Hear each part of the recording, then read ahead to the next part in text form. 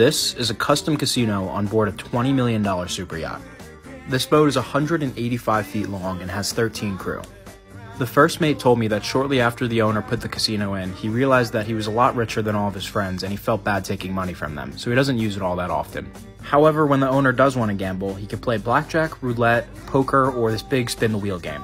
And of course, a tour of a casino on a super yacht wouldn't be complete without a hand of blackjack against the first mate, which I won. Let me know if you guys want to see more of this boat, and as always, brought to you by Boat Buddies.